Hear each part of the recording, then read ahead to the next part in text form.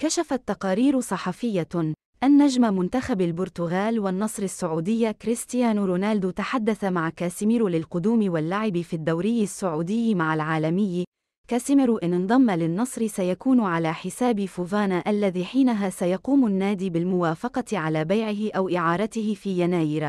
ويصبح وسط الفريق مكون من بروزوفيتش وأوتافيو ليكون من أقوى خطوط الوسط في دوري روشن وآسيا وربما في العالم من حيث الجودة والتنوع في الأدوار.